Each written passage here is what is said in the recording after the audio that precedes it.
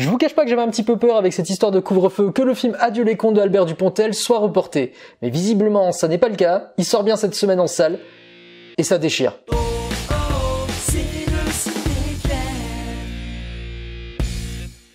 Hey, hey, hey, salut à tous, bienvenue dans le Cinéclem, j'espère que vous allez bien et on se retrouve aujourd'hui pour une toute nouvelle vidéo critique. Et il s'agira du film Adieu les cons réalisé par Albert Dupontel avec Albert Dupontel au casting, mais également Virginie Efira et Nicolas Marié. Et ce film incroyable, il parle de quoi? Adieu les cons nous raconte l'histoire de Sustrapé qui apprend un jour qu'elle est malade et que le temps lui est compté. De ce point-là, elle décide de partir à la recherche de l'enfant qu'elle a abandonné 15 ans plus tôt et croise sur sa route un homme en plein burn-out et un aveugle archiviste. Alors ce film, je l'ai vu il y a quelques mois lors d'une soirée organisée par le cinéma juste à côté de chez moi. J'y suis allé mais alors avec absolument aucune attente. Je n'ai rien contre Albert Dupontel. C'est un très bon acteur, c'est un très bon réalisateur. Il fait de très bons films qui sont esthétiquement et narrativement très très beaux.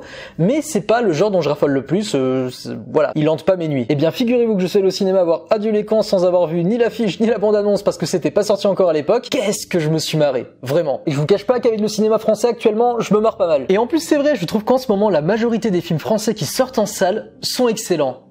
Mais celui-ci, c'est un rang au-dessus. Je vais pas vous spoiler, mais je vais quand même le remettre un petit peu dans le contexte. L'histoire de Adieu les commence par une mauvaise nouvelle. On apprend dès l'introduction que le sort du personnage de Virginie Efira est scellé. Suite à ça, on y découvre le personnage campé par Albert Dupontel qui, on va pas se mentir, a envie de se foutre en l'air. Pour vous dire, moi qui suis pas un grand fan d'Albert Dupontel, tu m'emmènes voir un film qui, au bout de 15 minutes, te présente deux personnages en dépression, bah ça me faisait pas spécialement rêver. Mais c'est comme ça, c'est l'introduction, c'est l'installation des protagonistes, les personnages qu'on va suivre pendant tout le récit, et bon bah écoutez, euh, ça se passe mal. Puis le personnage de Dupontel lâche un coup de feu, et ce coup de feu a été pour moi le début d'un autre film. Même si le fond du métrage est dramatique, la forme et tout ce qui va en suivre est burlesque, drôle et bref, j'ai pris mon pied. j'ai pris mon pied, c'est pas ce que j'avais écrit, mais bon, j'avais écrit jouissif. Mais c'est pareil. Mais vous dire que c'est Albert Dupontel et Virginie Fira qui m'ont fait marrer serait vous mentir, c'est pas vrai. J'adore ces personnages, j'ai adoré leurs prestations. Virginie Fira, mais elle est éblouissante, elle est magnifique dedans. C'est un rôle qui, qui mérite pour moi énormément de récompenses. Mais je vous cache pas que c'est un tout autre acteur qui m'a fait rêver. Et on va pas se mentir, si vous avez vu le film,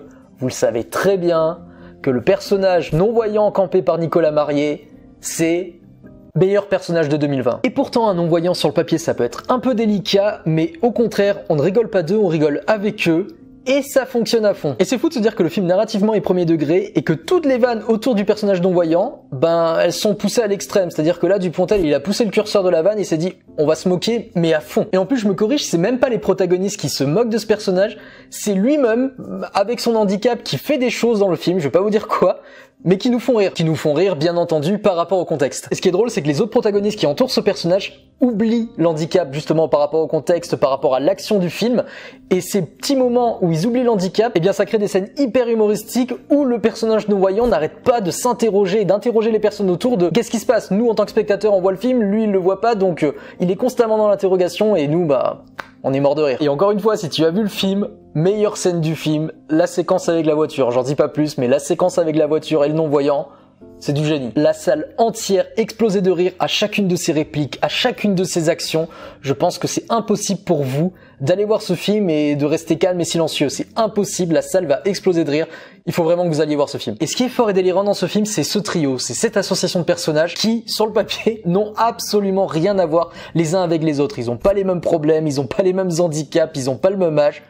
Et pourtant, ils sont ensemble. Et la précipitation, les actions, les scènes, tout ce qui se passe autour de ce trio, bah, font la magie du film. Alors, il y a rien à dire, Dupontel en tant que réalisateur et en tant qu'acteur également, il excelle dans le genre de la comédie, mais également dans le genre dramatique. Tout s'enchaîne de façon étrange, on rigole très fort, ensuite on est triste, à un moment on pleure, ensuite on rigole, on n'anticipe rien et le film se conclut de façon magistrale. Imaginez une recette de cuisine cinématographique où le film serait burlesque, comique, dramatique et larmoyant, bah ça donnerait quoi? Adieu les cons de Albert Dupontel. Cette phrase-là, je vous avoue, je l'avais un petit peu préparée. On rigole et on pleure, et pourtant, ça fonctionne ensemble, c'est-à-dire que tout est harmonisé et tout va de sens dans ce film. Visuellement ça claque, le montage va à 200 à l'heure, c'est hyper bien pour 1h27 je trouve ça mais excellent, la durée du film est parfaite. On y trouve bien entendu une bande originale qui rappelle les autres films de Dupontel mais également cette colorimétrie qui est donc sa marque de fabrique qui ressemble un petit peu à Jean-Pierre Jeunet tout ça. Bref c'est du Dupontel pur et dur et c'est excellent. J'ai dit excellent et pourtant j'avais écrit délicieux donc oui oui c'est un film absolument délicieux. Le cocktail est dingue et s'il vous plaît n'allez pas voir les bandes annonces. Même si je vous ai mis quelques extraits dans cette vidéo, ce qu'on voit actuellement dans les petits extraits qui passent en télévision ou sur YouTube,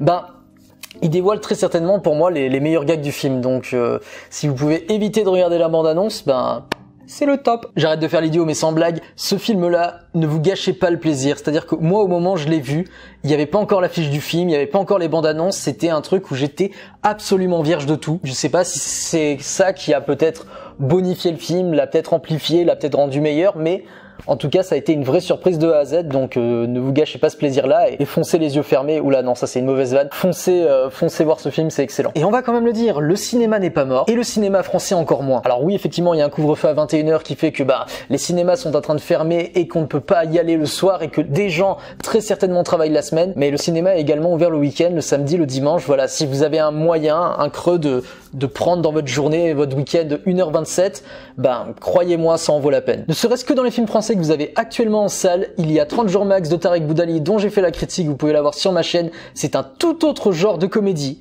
mais ça fonctionne à fond aussi. Je vous recommande également ce magnifique film d'animation dont on n'a pas trop parlé et pourtant il est excellent, je l'ai vu deux fois, ça s'appelle Joseph, c'est réalisé par Aurel et ça raconte l'histoire vraie de Joseph Bartoli, un dessinateur qui était présent au cœur de la guerre civile d'Espagne. Et c'est absolument génial. Et je vais encore faire ma promo, j'ai réalisé une interview du réalisateur et de l'équipe du film. Et vous pouvez trouver ça bien entendu sur ma chaîne YouTube. Oh et c'est pas fini, il y a également le film Miss de Ruben Alves qui sort le même jour que Adieu les cons au cinéma. Donc si vous avez l'occasion de le voir, allez-y, c'est un film qui raconte l'histoire d'un jeune homme qui devenir Miss France et c'est original et c'est top et en plus de ça j'ai eu la chance d'assister à la conférence de presse avec l'équipe du film dont le réalisateur et les acteurs et euh, le fait de connaître la conception tout autour de ça ben ça a bonifié mon, mon avis sur ce film là voilà. Et je pense que je vais m'arrêter ici parce que vous avez énormément de choses à voir au cinéma. Vous avez d'excellents films français. Le cinéma ne s'arrête pas à Marvel à Star Wars et au blockbuster. Vous avez réellement de très très bons films au cinéma actuellement. Conclusion de cette critique. Adieu les cons d'Albert Dupontel et la comédie à voir absolument cette semaine. C'est dramatique c'est émouvant, c'est burlesque, c'est comique, c'est absolument tout. Vous allez passer 1h27 de folie, c'est à mourir de rire. Et c'est horrible ce que je veux dire, mais je veux absolument voir une suite, un préquel ou un spin-off sur le personnage non-voyant qui est pour moi meilleur personnage de l'année, meilleur personnage de la décennie, voilà. C'est dit. Et précisons quand même un tout dernier truc avant de vous laisser. Ce film-là est une des meilleures comédies françaises de cette année.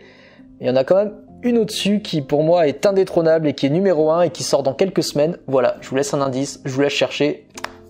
On en parle dans quelques semaines. Et voilà, cette vidéo se termine là pour aujourd'hui. J'espère qu'elle vous a plu. N'hésitez pas à rejoindre mes réseaux sociaux Twitter, Facebook et Instagram, à vous abonner, à activer la petite cloche, à mettre un petit pouce bleu et un commentaire pour me dire ce que vous en avez pensé. Je lis tout le monde et réponds à tout le monde. Et je pense que je vais vous laisser ici. Je vous embrasse, je vous aime et vous dis à très très vite dans le Cinéclem. Ciao